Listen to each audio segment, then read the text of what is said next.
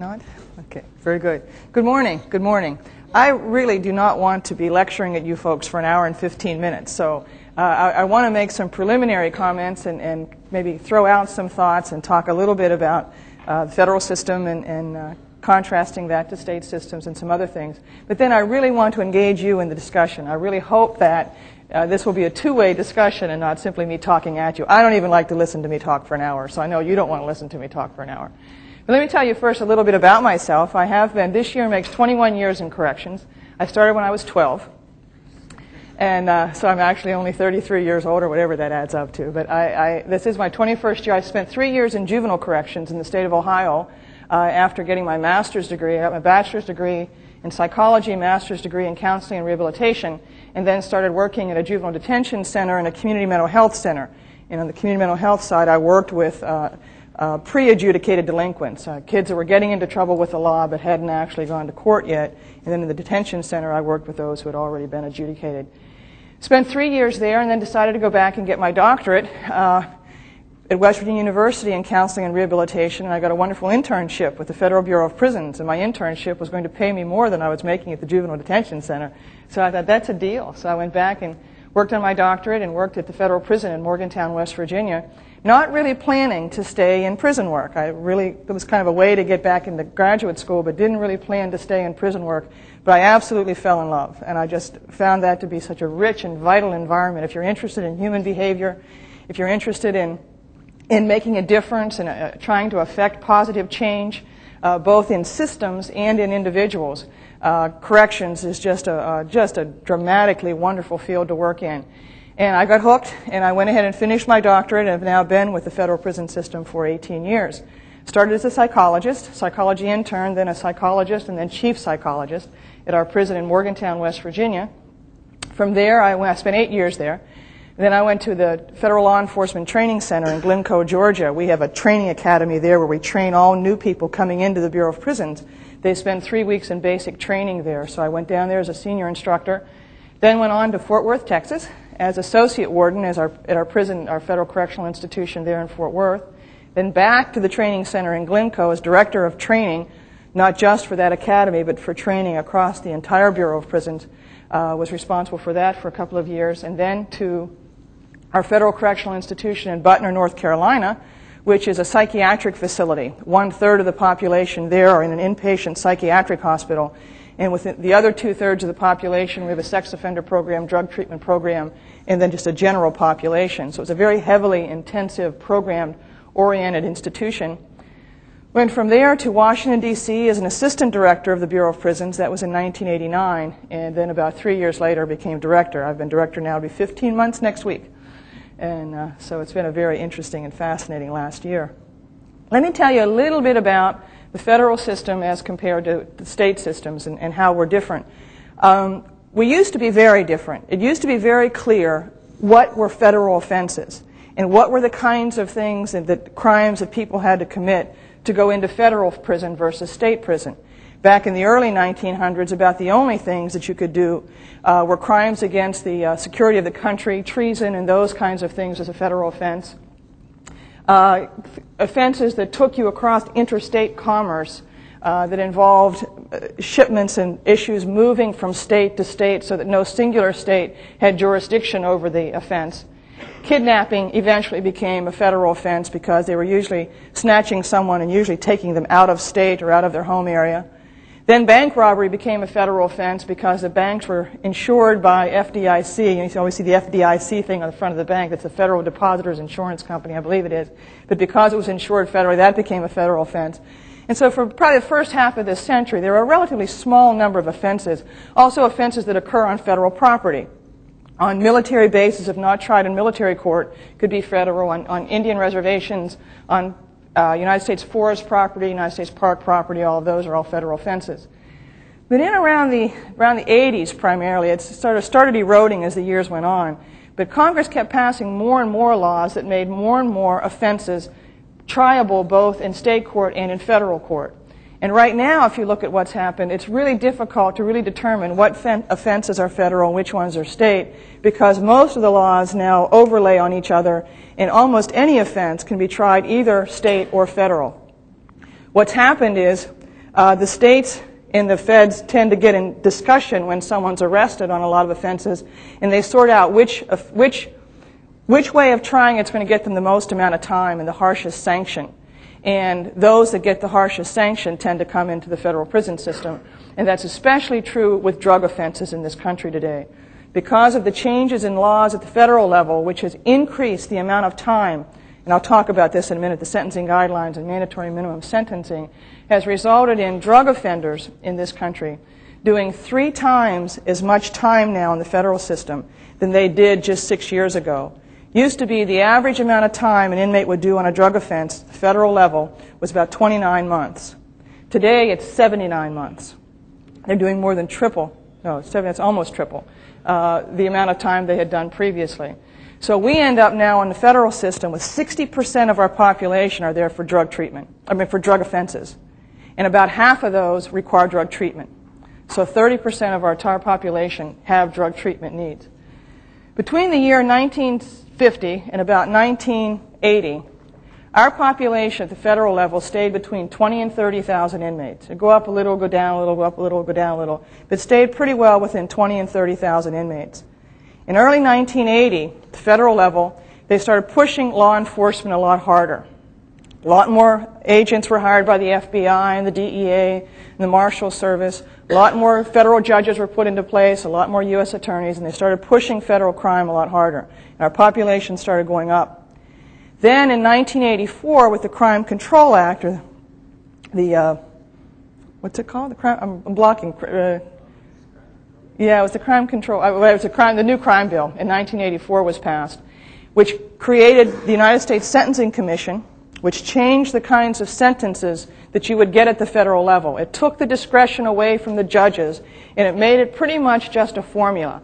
If you committed offense X and you have X prior record, then you're going to get this amount of time. No debate, no considering of your background, no considering of the resources that you might have available to you should you stay in the community or not. It took the discretion away from the judges and made it a very absolute you commit this offense, you have this background of offenses, you go away for this amount of time. Well, that amount of time was much, much higher than it used to be that inmates would do in our system. They also took away parole. They said, we want inmates to do the exact amount of time that they're given by the courts. None of this letting them out early. So they took federal parole away from us in the federal prison system. They also cut the amount of good time we could give. We used to be able to give a fair amount of good time for good conduct and also an additional amount of good time if they got involved in programs and things that really made them a better uh, escape, or I mean, a better um, conduct risk once they got back into the community. They took that away from us, and now we can only give inmates 54 days a year good time, which means I think in the state of Texas right now you do an average of 23 days on a year. So if you get 10 year sentences, you do 10 times 23 days. The federal system, you do 300. What's what's 300. What's 54 from 365? 311. In federal system, you do 311 days on a year. For every year that you get sentenced, you do 311 days. And there's no way to cut that shorter. No way at all. And also, then Congress started passing mandatory minimum sentencing. So they said if you commit this offense, you get a flat 10 years. If you commit that offense, you get a flat 15 years. If you commit another offense, you get a flat 20 years. It was very much locked in as to what the sentences were going to be. Our population then really began to skyrocket in the middle 1980s. Remember now, I told you our population went for 30 years between 20 and 30,000 inmates. We now have 91,000 inmates in the Federal Bureau of Prisons. And the projection is that by the end of this decade, we're going to have 130,000 inmates. The only system larger than us right now is the California Department of Corrections, which has about 120. But Texas is fast approaching. It right now is number three but with the building plan they have underway, and actually, if they counted, I think all of those that are sitting in the county jails right now, because they simply don't have room for them in Texas prisons, they probably would pass us up and be number two. So prisons, uh, prisons is a growing business, very dramatically growing today, with all the debate that's going on about getting tough on crime, making our streets safer, all the debate going on about the crime bill right now and what should the country's response be to the fact that our, our, our communities are unsafe, our citizens are feeling uh, beleaguered by crime, and they're afraid. What should the response be? And if you listen to the debate that's going on at the crime bill, the only response we seem to be able to come up with in this country is to lock them away. build more prisons, lock more people away. And at the rate we're going, today we have a million people in the United States that are locked up in either prisons or jails. A million people.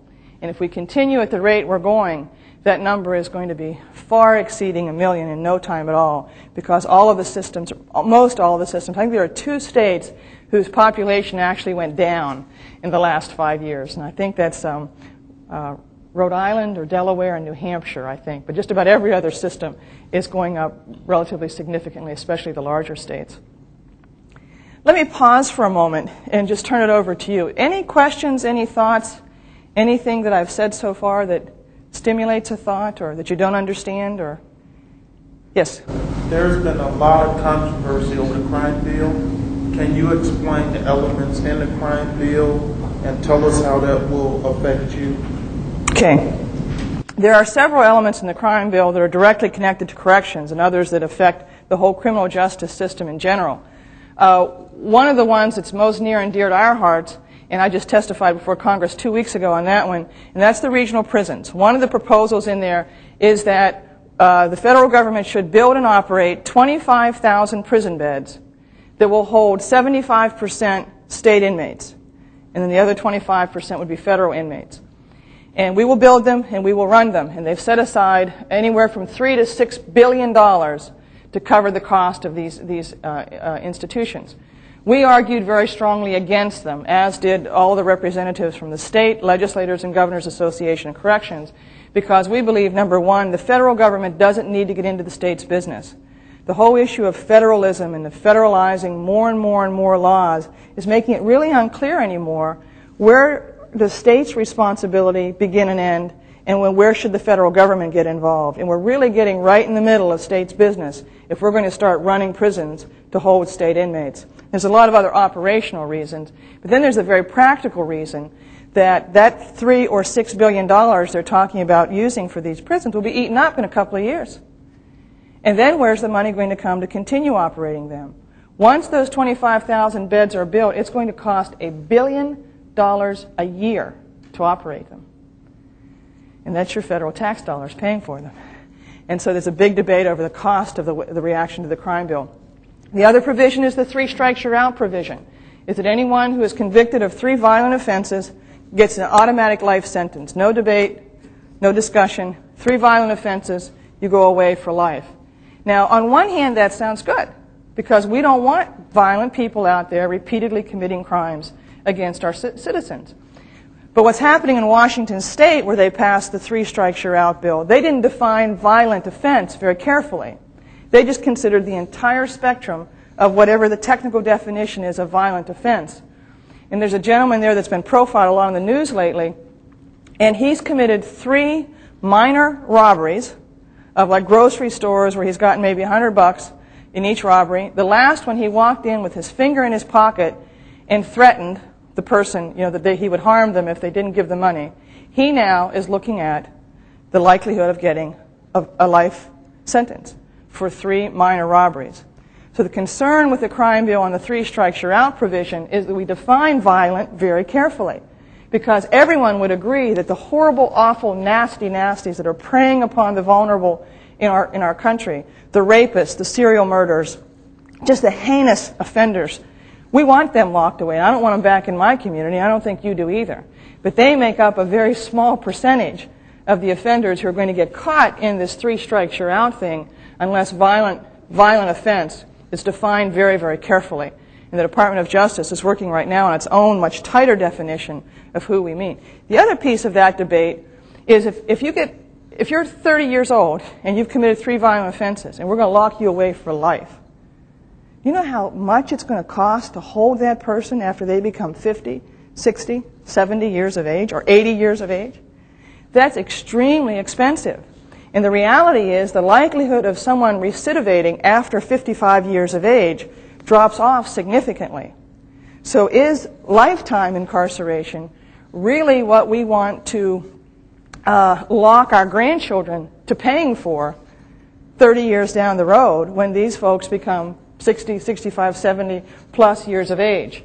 I'm not sure that's a real wise thing to do uh, unless, again, you so narrowly define that violent grouping that you really are talking about those who you really do want to lock away and you're willing to pay for for a lifetime.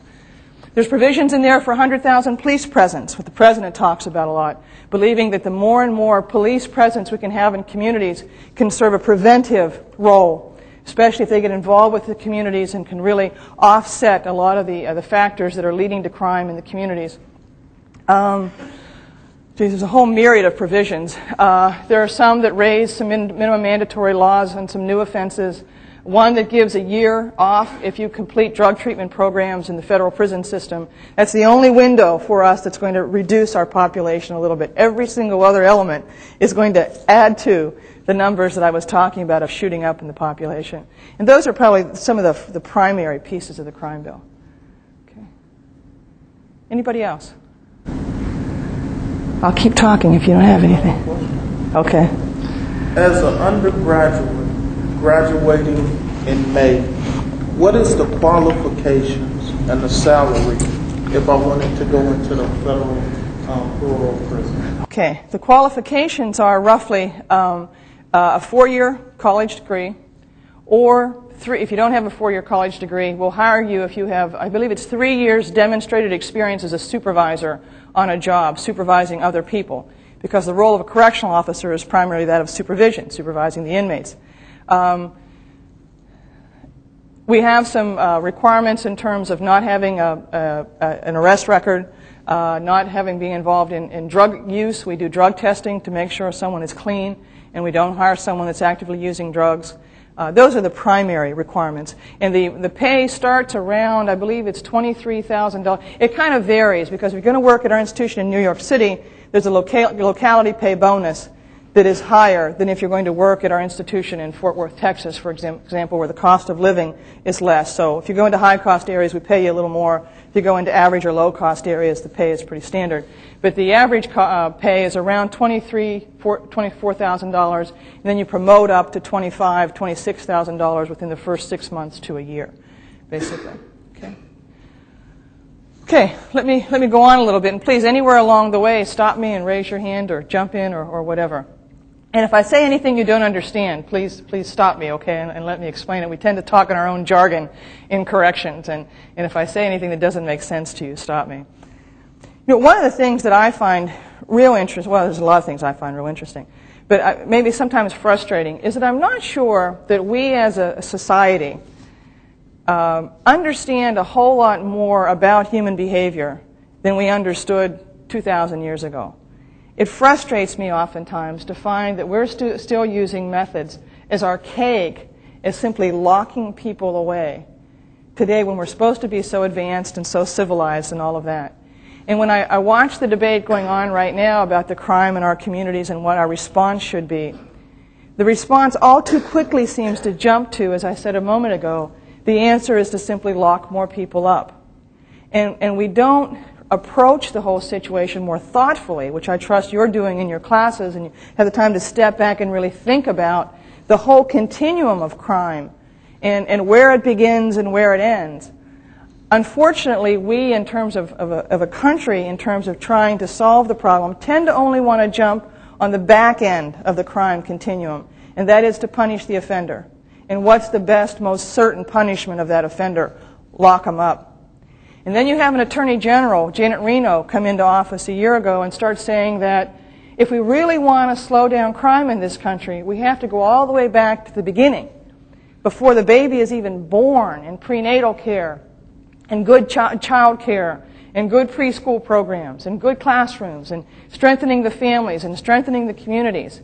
And then her detractors come in and say, She's the Attorney General? She sounds more like the head of Health and Human Services talking about this. She should be talking about what to do with crime in this country, not these social service kinds of issues on the front end. But unfortunately, or fortunately, I agree absolutely with the Attorney General in that if we only keep dealing with the back end of crime and how you punish offenders, we're going to be paying for these prisons and locking people up from now until eternity because all we're doing down here is creating more offenders. If we don't touch the factors that contribute to crime and the whole environment that creates crime in this country, and we only deal on the back end, which is locking people up and punishing them soundly, then we're never going to slow down the rate of crime. In fact, we're probably going to increase it. Then you get into the thing of what's sanction, what are sanctions supposed to be all about? What's the purpose of it? Is it punishment and only punishment? Is it deterrence? I mean, do we honestly believe that if you're about to go out and deal drugs or if you're about to go out and rob a bank, you're going to stop and say, well, let me see. If I rob this bank, I'm likely to get 10 years in jail. But, you know, I've only got a 50% chance of getting caught and a 25 chance percent chance of getting found guilty. So let's see, my odds then of going to jail are this amount, and I may end up getting then. I mean, do you think offenders really sit down and factor out what the consequences are going to be clearly? To believe that any uh, sanction out there is going to be a deterrent to the average offender. Now, it might be to us. Those who function more on middle class values, who are concerned about being embarrassed or embarrassing their family or bringing disrespect upon themselves or their family, may be influenced by some of these deterrent issues. But most of those who get involved in crime, they're not really interested in those kinds of factors. So I question the whole deterrence argument as to whether or not that's really going to make a difference. Is the purpose simply incapacitation? Making certain that they cannot commit any more offenses? Well, if you lock them away for life, you're going to guarantee they're incapacitated. But is that the only way you can ensure it? Or is it rehabilitation? Is the purpose of sanctions to really help someone become better able to live a crime free life? I'm not sure we as a society have ever really decided what it is we want out of our sanctions. We kind of want all of the above, or one of the above, and we want to apply that same sanction to everyone and believe that's going to make a difference, even though people are very, very different. Thoughts? Yes. Do you see any evidence anywhere that we're breaking out of that way of thinking, though? I mean, it seems that it seems that we keep recreating the same wheels over and over again. We keep focusing on punishing criminals rather than dealing with the crime problem. I, I, I, do you see any hope that people are looking at it a different way? I was hopeful. I was hopeful six months ago. I was very hopeful that we were taking another a- approach. I think with the Attorney General and the current President talking about let's take another look at the way we're going to address crime, the debates on, Ca- on Capitol Hill and the Senate and the House were beginning to be much more reasonable. Still heavily on tough on crime, but moderating back a little bit to the middle. And I think I, the, the thing that I thought was really going to make it happen was the economy. If we truly wanted to reduce the deficit, we truly wanted to balance the budget, we couldn't simply continue to put tons of money into the back end of crime. I honestly was hopeful about six months ago. And the Senate was merely going along, dealing, approaching the crime bill. And then literally overnight, it reversed itself. And that was the night of the election for mayor in New York City, the election for governor in New Jersey, and the election for governor in Virginia. And all three of those elections turned on the issue of crime. All three of them. And literally overnight, Senate changed its approach. And it became, can you top this? We kept calling it in Washington. I mean, one would say, I want 10 more mandatory minimum sentences. And the other, I want 20 more mandatory minimum sentences. And we want to lock them away for 10 years. No, we're going to lock them away for 20 years.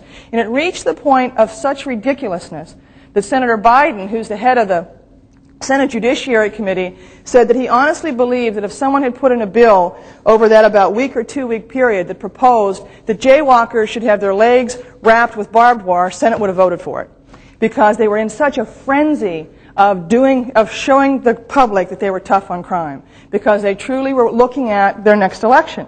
And they truly believed that whether or not they were tough on crime would, would determine the election. And it, the whole thing reversed. The good thing that in the Senate went ahead and passed this very, very expensive 22, 23 billion dollar crime bill with 99% of it going toward punishing harshly offenders and very little on the prevention side. The good thing that happened was the Senate passed that bill, but then it has to go to the House for, for, for their, them to deal with it, and Christmas fell in between that. The, the Christmas break fell in between the Senate's deliberations and before it got handed over to the House. And I honestly think that that, um, that, that delay period there allowed everything to settle down a little bit So that now when the House came back in, they're approaching it a little more reasonably. The Senate did not have a single hearing on the crime bill. They had no one come in and talk with them about any of the bills that they were passing. You know, the experts in the field or the folks from academia or all the different ones that could educate the Senate on what they were proposing. They didn't have a single hearing on the crime bill when they passed the bill. The House now is slowing down, having some hearings, and we're hoping that something a little more reasonable is going to come out of it. One of our own legislators here in Texas has referred to this notion of uh, building more prisons to solve crime. He uses the analogy that if we responded to the AIDS crisis simply by building more hospitals, people would look at it and say that's insane. Mm-hmm. That- That's not the way to deal with the, with a public health crisis, is simply by building hospitals where people will go to die with AIDS. But yet that's exactly the way we're responding to uh, crime problems, by building institutions. And one of your legislators here in, in uh, Texas is at the front of that pack, too. Uh, Phil Gramm, your senator, who's taking a very strong, hard on crime stance. And anyone that tries to say anything other than that, uh, that, well, maybe we should slow down a little bit and think about this, they're immediately pounced upon as being soft on crime, soft on crime. And it's become a political football. And, and the issue is immediately polarized. You know, if, if, if you were to say what you just said, you'd immediately be labeled soft on crime by your opponents. But everyone wants to appear hard on crime. The reality is we need to be somewhere there in the middle where we're reasonable on crime, where we're making sense on crime, and not simply polarizing the issue from, you know, throw the book at them to do nothing about them at all. The answer is somewhere here in the middle. And unfortunately, I don't think we're going to see a whole lot of that uh, in the next year or so because one of the reasons is every member of the House of Representatives is up for reelection next year. And the reality is, you know, although I honestly believe that 99% of our elected officials in Washington, D.C. truly have the best interests, interests of this country at heart, and they truly want to do what's right. Problem is, they can only do what's right if they're in Washington, you know, if they're, they keep their seat in the Senate or the House. So they keep one foot in doing what's right for the country, and other foot, the other foot in the, the ballpark that's going to get them reelected. And they have to kind of stay within a reasonable ground there, or they risk not being reelected. Did you have a question? Yes, ma'am. Uh, based on your psychological experience with um, offenders, what type of prevention programs, both for juveniles and adults, do you see that most benefit them? And if we ever move to a point where we stress prevention more than building more prisons, do you think it would be most effectively operated on the state, uh, local, or federal standpoint? I'm going to reverse your questions and deal with the first part first, and I mean the second part first, because I think that's the way the flow needs to go. Did you all hear her question? Her question is, what are the preventive things that we, that I believe, from a psychological standpoint, need to occur to start directing young people away from crime? And also, if we ever get into these prevention modes, should it be done at the local, state, or federal level? And I'm going to answer them in reverse order. I believe that if any approach is going to work, it has to be as close to home for that person as it can possibly be. Anything that's going to be done off in the distance or some, some remote, uh, remotely directed arena is just too far away from our young. When I was growing up, I didn't care about any of the world outside of me than my own little realm of experience. And I would think that's true of all of us. You know, the world is far too big to deal with when you're 13, 12 years old. The world around you is big enough. It needs to start as close to home as possible. And I think the way in which we need to address it is really catching children when they're very, very young and developing in them a hopefulness for their future and a sense of uh, power over their own life and their own existence. And that they can truly, in developing that positive self image in them and that confidence in themselves, that they're able to do good things. Because if you look at the kinds of factors and a sense of belongingness and a sense of caring and a sense of support. If you look at all of the factors that are leading many of our young men and some of our young women into gangs, it's exactly that. They're looking for a sense of identity. They're looking for a, a support group to watch over them and support them and assist them. They're looking for some um, image of who they are and what they are and what can, can give them a life that's better than, than they feel that they're having right now and they end up getting into these negative groups, the gang oriented groups, because we are not offering them enough positive things to get involved in and develop in. I met just the other day with the Attorney General with Jane Alexander, who's the head of the uh, National Endowment of the Arts. And she had with her some community leaders who'd been doing a lot in the inner cities, uh, in, the, in the area of the, the, the creative arts. And they were um, going into the schools that were the most troubled and identifying kids who had no sense of hope, no sense of personal well being, very low self images, and started kind of skimming these kids off the top and getting, getting them involved in creative, artistic endeavors, in, into acting, into music, into drama, into uh, art, into all kinds of things. And the, the, the very dramatic impact that you could see with these kids over the course of a four year period was absolutely unbelievable. They had gone from schools where the likelihood of going to college was like 2% to having 98% of these kids going on to college. Most of them with scholarships because they had increased their grades so well. And it wasn't that they skimmed off the best kids, you know, the ones who had the greatest aptitude or the greatest intelligence or any of that. They skimmed off the ones who were down the lowest and that says to me, if you can catch them, and these kids were high school age, so they had even gone past the age where I think the kids are most moldable in terms of, and most malleable in terms of touching their image of themselves. Um, but we need to start that very early. And if, again, listening to the Attorney General, you also need to start before that to give them biologically, physiologically, the abilities, because many of our children are born already 10 steps behind because they're born to drug addicted mothers, alcohol addicted mothers, or the prenatal care they received has so damaged their little systems and affected their abilities to develop properly that they, they're born 10 steps behind the rest of us. And if we don't start touching those things, again, we're going to be paying for the back end of crime for the rest of my lifetime and probably the rest of yours too. If a kid decides when they're 12 years old they're going to be a gangster, and they decide, they, they link themselves to gangsters and they live that life until they're 21.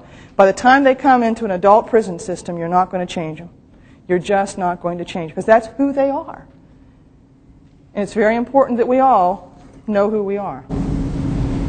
One of the things that we see in, in public opinion data, when we look at what people view as a cause of crime, there's been a very, very marked shift over the last 20 years. And much less interest in recognizing social causes and much more of a notion that this person chooses to commit crime or this person was, uh, was you know, sort of born to be hung mentality. Uh, in your view, is that what drives this? I mean, we're not really concerned about broken homes and, and poor schools and nutrition programs anymore because we don't think that matters. I mean, uh, the American public tends to think that people join gangs out of a very functional kind of view that uh, it's, it's easier and uh, that these are choices that people make.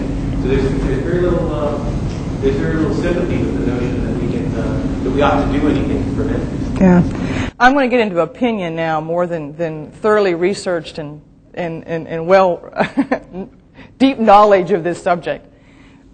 But I honestly believe that one of the problems, and being where I am now in government and watching what's happening, I have a little different perspective than I did when I was the brand new psychologist at Morgantown.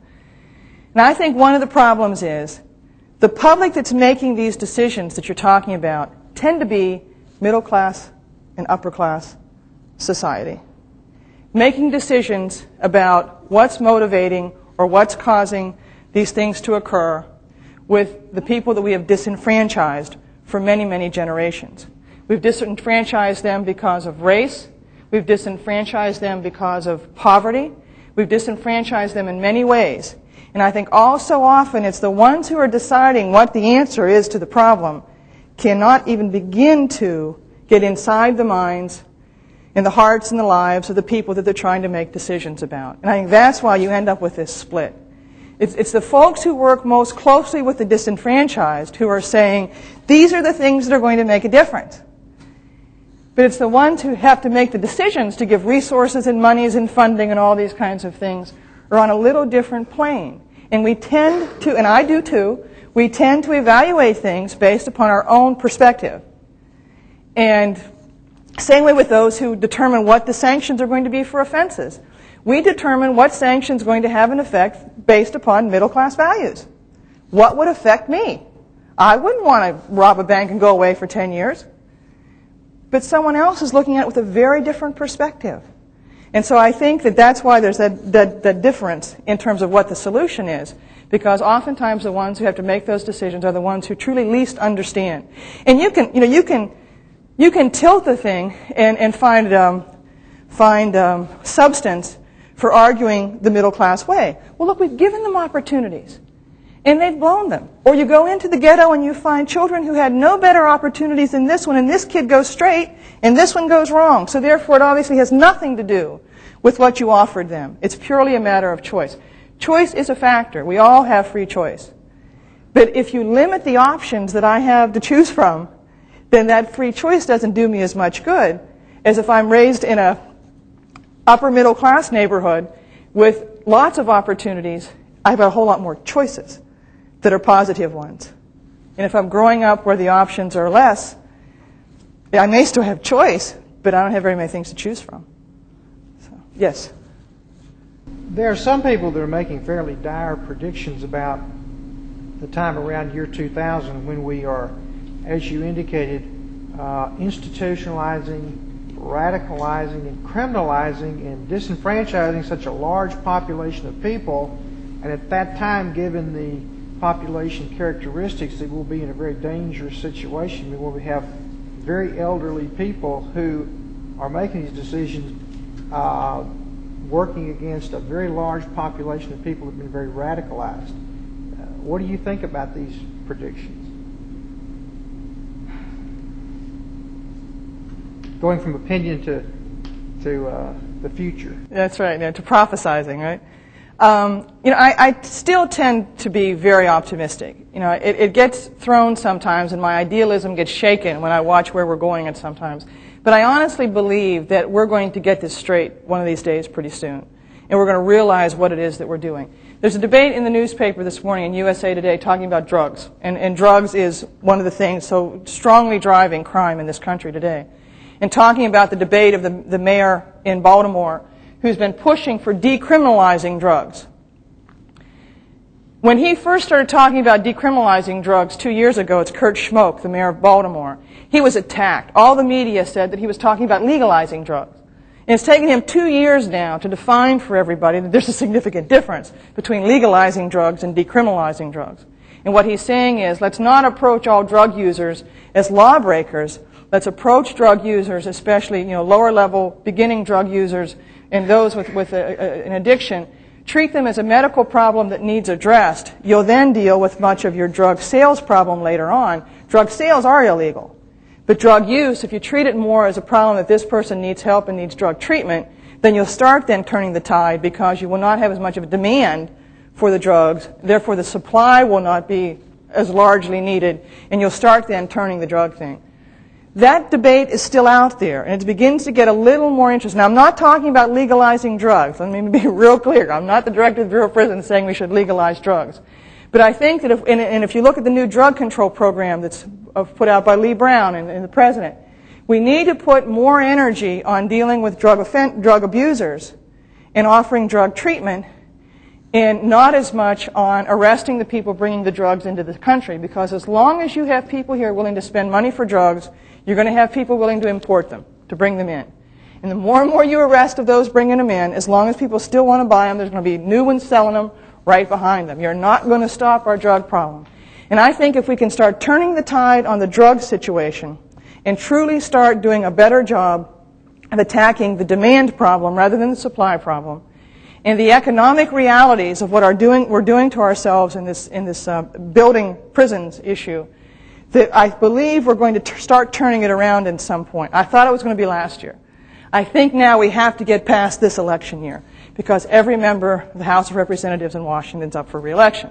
We need to get past that, and then I think you might see some reasons start coming back into it. But one of the things we need to do, I honestly believe, is do a better job of educating the public. Because we, the public, tend to want to point either your state legislatures, your state capitals, or Washington, D.C., and say, look what those awful people are doing up there. They're doing these things. They need to be fixing the problem. Instead, they're putting us farther in debt or whatever it might be.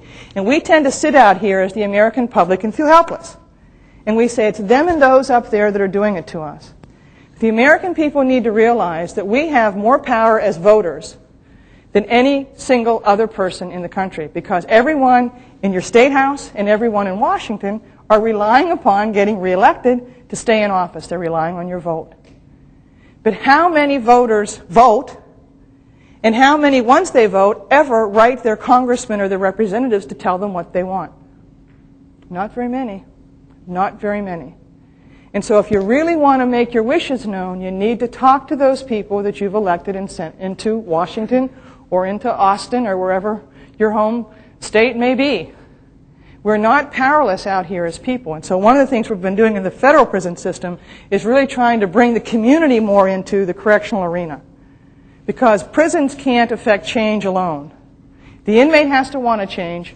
Prison has to offer op- options. But the community then has to be willing to accept that individual back into their community in a positive way with jobs, with housing, with a, a willingness to help that person go straight. And until our communities start taking more responsibility, I think we're going to continue to have problems. It's kind of a circuitous answer to your question. I'm not sure if it got there or not. But, but I tend to be hopeful that, that we're going to start turning this around. What is your sense, as we go about building all these prisons in Texas and elsewhere, what do we expect them to do? Uh, are, what is the modern view of what the prison is supposed to Are we looking at them as schools or as factories or simply as warehouses? I'd like to ask you that. That's one of the questions I had jotted down to myself to try to get you engaged a little bit. What do you think? What do you want from prisons? If, if, if you're one who believes that the bad folks should be punished, and one of those options of punishment should be send them away to prison, what do you expect then that prison to do? Rehabilitation. Rehabilitation. Okay. What does that mean to you? Teaching them to maybe, well, no, uh, kind of telling them, making them realize what they've done is wrong, and to when they leave, to know that's wrong and not do it again. Okay. Make, making sure you tell them that what they've done is wrong, and try to encourage them not to do it again when they go back out. How do you do that? Education training. Education, training, reprogramming. Okay, a little computer. You know, you get in there and you kind of re- redo the program, and they come out okay. I wish it were as simple as, as easy reprogramming, but it is kind of a reprogramming. What else? How do we do that?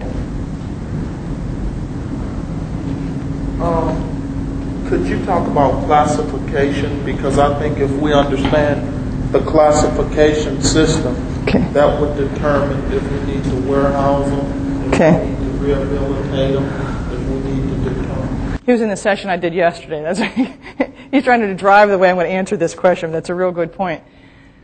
In getting at the, at the of, of rehabilitation or what the purpose is of incarceration and what we try to do as a correctional system, we try to do somewhat different things for different people. If they're individuals who are, are going to be going back into the community in a relatively reasonable length of time, uh, five years, ten years, they're going to be getting out, then we try very much to do almost reprogramming through education, through trying to help them realize that the lifestyle that they've chosen so far is only going to get them back into jail again. Try to offer them opportunities not, over to, not only to build their skills educationally, vocationally in the workplace, but also do a, a personal reassessment through our chaplaincy programs and our psychology programs and our counseling programs to try to do some values retraining in terms of you know what they what many of them coming into us value is money. Um, they value their their peers if they're attached to some gang kind of a grouping, uh, and they value things that get them in difficulty. And we try to work with them to kind of redirect their values in terms of their values being for freedom, and their value being to to feel good about themselves and try to shift values. But that's real hard to do when you're dealing with someone that's got a 20 year sentence 30 year sentence, not going to be getting out for a long, long time. With many of those individuals, we try to do some of that, but it's a little harder when they're not looking at returning back to the community for a long, long time. This is really going to be their life for a major portion of their life, and it's going to be in jail. So through your classification systems, you can sort out who are the most dangerous inmates doing the most amount of time, place them in higher security institutions, you sort out those who are lower level offenders who are going to be getting out in lesser amounts of time, and you offer programs in both types of classifications of institutions. But your, your one set on the lower end is really trying to do the rehabilitation. It's really trying to get these folks ready to go out in a positive way, ready to live a crime free life. Now, we work at that real hard, but you know what our recidivism rate is? 40%. 40% of those that we touch come back within three years. Now, we can feel real good about the fact that that's better than the state average. I think the state average is 60%. But that still doesn't feel real good. I mean, 40% of them come back. It doesn't really start dropping off significantly until they reach 55 and older. And then it goes down to like 18% because they just get tired of being in prison. They just get tired. But even our best efforts is still resulting in a 40% recidivism rate. Um, yes? What are some of the ways that prisons make the people worse who come through the system? Yeah, you know, that's one of the accusations that's made a lot about prison systems is that they, the person goes in and they come out worse off than when they went in. And, you know, I won't say that that doesn't happen sometimes, especially in your, your more severe institutions, your harsher institutions, and especially if you don't have a good classification system. Because if you're putting your more malleable, your more moldable individuals that haven't gotten into the full-fledged big life of crime yet, and you're incarcerating them with some of these folks that, have, that are destined to be gangsters for the rest of their lives, you really have a much greater likelihood of the one group influencing the other group negatively. But I think what happens is, if, if again, if, if they come in with kind of a, a weak self-image, not sure of who they are or who they're going to be, it's very easy for them to start aligning themselves with the bad guys. The real bad guys who have a real clear image of who they are, and they're bad guys. They're the gangsters, or the, the bad girls, because we have plenty of those too. Um, and so I think it's very important, and we try very hard to separate out these populations so that you don't put the younger, more vulnerable, more malleable uh, self concepts in there with the ones who are destined to a life of crime because they can very much influence the other. If also, if you don't offer them hope, one of the, the biggest things that we risk in prison is when someone loses hope. Because most ever, when everyone comes in, they're hopeful that they're going to get out early. They're hopeful that they're not going to come back again. There's a fair amount of hope on the part of most of your offenders when they come in. It's one of the fears we have with losing parole and minimizing good time and some of these long, long sentences, and especially the discussion of giving life sentences with no parole to a lot more offenders. And that is when they walk in that door, there is no hope. There is no likelihood to get out earlier. There's not a darn thing you're going to do to change that sentence. And if you've got a life sentence or you've got the death sentence, there's not a whole lot you're going to do to change any of that. And when you lose hope, you lose the primary motivator, and that's when they're absolutely likely to be uh, influenced far more negatively by the negative peers around them than they are by anything positive you try to do. And when we get someone in that's 25 and they're looking at a 20 year sentence, as far as they're concerned, that is a life sentence. Because when you're 25 or younger, you folks, and you imagine yourself my age, 43, that's probably a lifetime away to you. And the thought of not getting out again for 20 years is a long, long time. Yes? Which would be the worst for you, no drug treatment program or a phony drug treatment program? Well, probably no would be worse. Because, although phony sure and a whole lot better. But one of the concerns with, with having folks in, in prison is you have to have something constructive for them to be doing. Idle hands, idle minds are just disaster in a prison setting. So even if you've got a weak drug treatment program that is not going to have dramatic effects in terms of stopping their drug usage down the road, at least it's something that, that's, that's, that's semi uh, um, positive that's keeping them occupied. Now, that's in terms of dealing with the offenders themselves. It becomes worse to have a phony one than no if you're seeking resources. If you're going to your legislature and you're trying to get monies, or you're trying to get support, and you've got a phony one in there, and it's going okay, then what they're going to say is, why do you need any more money for one? You've got a drug treatment program going there right now. So that's where we hurt ourselves with weak ones or phony ones. We pretend like we've got them, uh, and so our legislatures will say, well, we're not going to give you any more money because you've already got one going. or we don't even seek more money because all we want is credit on paper for having a drug treatment program, but it's really going to have absolutely no impact upon these folks when they go back out into the community. And you can have a great drug treatment program inside your institution, but if you don't carry that program out with them as they go back into the community where they're most vulnerable, it's not much better than a phony program. Because you do all this great treatment, and then when they most need you, when they're walking back into their home community where all those old temptations are there, then you're gone from them. And that's what we used to do in the Federal Bureau of Prisons. We did a great job inside with drug treatment when drugs were hardly at all available to them and the threat and the temptation wasn't there real strongly. And then when they were ready to be released, we were finished. We handed them off to probation or parole, who didn't always pick up the ball, and a lot of these folks fell right back into drugs again. So our current drug treatment program, we emphasize the transition of them back into the community just as much as we emphasize the treatment while they're inside. We actually hook them up with a drug treatment program that has the same philosophical direction as the one in inside so that that same line of treatment continues after they get out there because that's when they really need it. When you're go, going back into your old haunts, your old temptations. And, and we're, we're very hopeful. It's not been going long enough to be able to track it over a long time to see the effects of our, our new program with the strong transition program. But we're very optimistic that it's going to have a good effect. Yes? Um, I think maybe part of the problem for the recidivism rate is you can take an inmate, one that's going to get out five years, you can train them, you can educate them. But once they get back into the community, if they've been convicted of a felony, they can't get a certain job or they can't live in a certain housing. How do you think we can educate the public to change their opinions and give people a second chance? That's, that's an excellent point, and that's what I was starting to touch on when I was saying we need to get the community more involved. There's a few things I think you can do. One is um, some, some states have real good mentoring programs where an inmate being released or, or a voluntary probation period, uh, program where private citizens volunteer to be mentors, we tend to call them more in this com- country, or volunteer probation officers or parole officers, and really help these individuals coming out one on one with jobs, with housing, with kind of developing new friendship groups and, and new associations.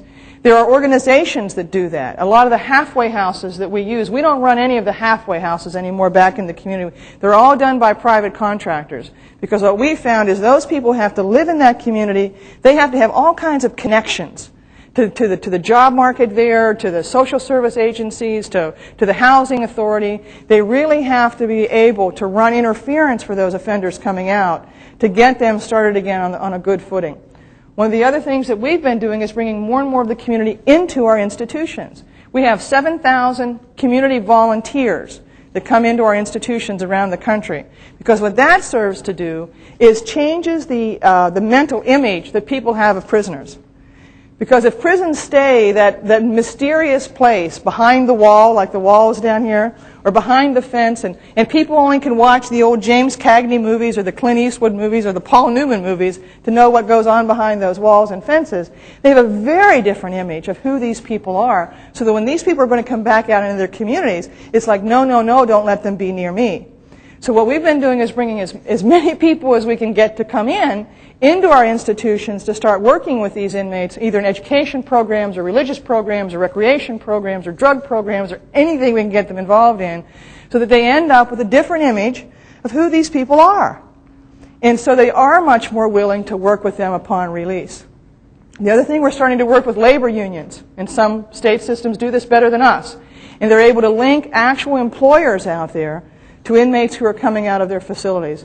So that if they, they get the particular vocational training they may need or job training in the institution, they're linked them then to the job market when they go out there so they have an advantage.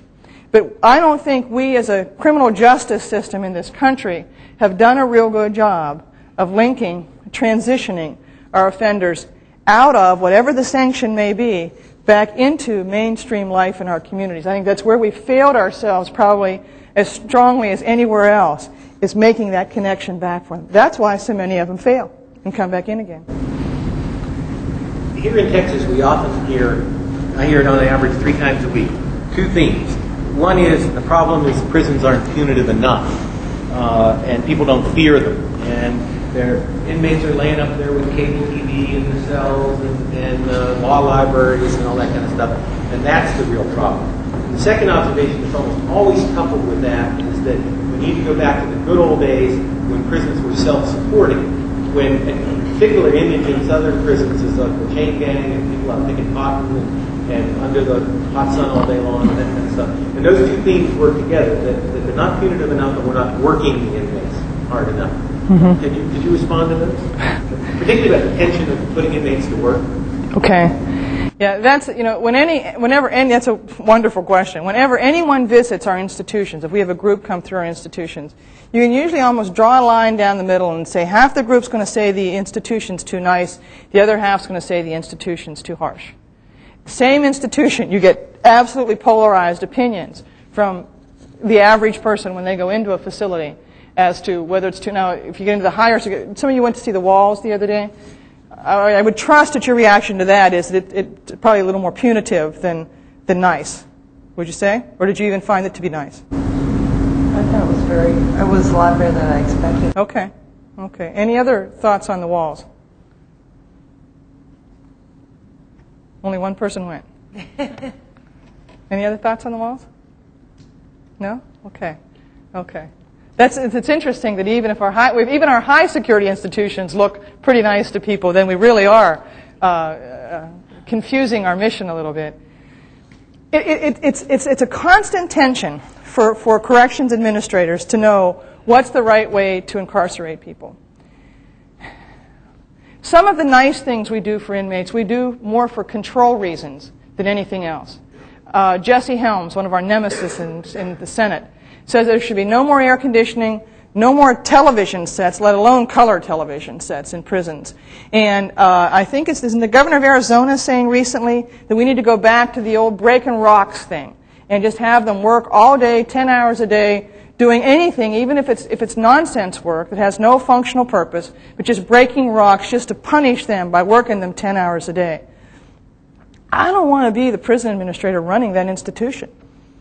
Can you imagine having 12, 1,500 inmates in Texas with no air, no, uh, no air conditioning, no cool air in the summertime, nothing to occupy their minds, as, as, as, as negative as perhaps a TV can be in terms of occupying minds, but nothing to occupy their minds. They've got lots of time after the, even you work them for 10 hours a day, doing nothing that's meaningful. So they end up being angry about that. They're hot, they're tired, they're feeling punished, all right.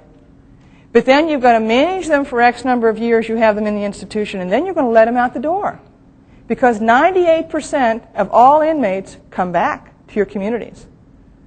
Now, I would argue that you're going to have a lot more negative, nasty person coming out the door after their time is up if that's the way in which you dealt with their incarceration. Now, I agree absolutely that every inmate needs to work. And in our system, we require every single inmate has to work or a combination of work and school for eight hours a day. The work could be being the cook in food service, being the orderly in your unit where you clean up. It could be being a typist, uh, helping out in the business office. It could be learning plumbing with the plumbing foreman or elect- electrical or elect- becoming an electrician. Or it could be working in our federal prison industries program where we actually manufacture furniture and cable harnesses and clothing and sell it to the federal government. You have to work eight hours a day. What happens though when you end up overcrowding your institutions, and right now our institutions are about 35% over capacity, our higher security institutions are about 50 to 55% over capacity, there's not enough work to go around. So you start making up jobs for inmates. And you maybe have four inmates doing the job that one could very easily do. And what you end up then with is a lot of idle time on their minds. Because they're just kind of hanging around, pretending to be working, but there really isn't a lot of work for them to do.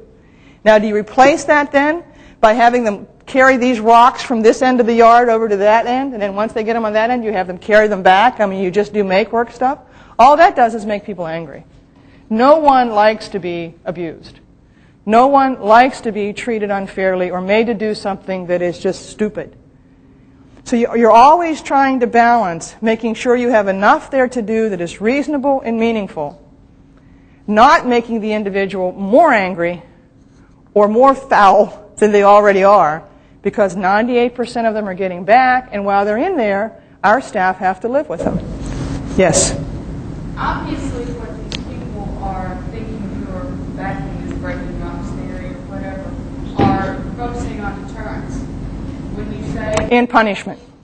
Both of those, deterrence and punishment. do you not think that it would deter anyone at all? Think that, well, maybe I shouldn't commit this robbery because I am going to be breaking rocks 10 hours a day while I'm I think it may deter some, but I think that would be a, a small percentage of the people that come to jail. I truly do. Because I used to talk with the inmates all the time about, you know, where, especially when I functioned for eight years as a psychologist. That's all I did was talk with inmates about what brought them to jail.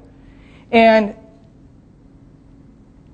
very, very few of them were really thinking at all about the consequence of their action when they committed their offense. And the consequence of their action was not at all the most significant thing to them when they opted to commit an offense. Okay? Because a lot of the folks that come to jail, their parents were in jail, their brothers in jail, their sisters in jail, someone in their families in jail. Or if you're growing up in some of the settings where criminal behavior is common, it's a rite of passage. In Washington, D.C., it's like a stripe on their arm if they've made a trip to the D.C. jail.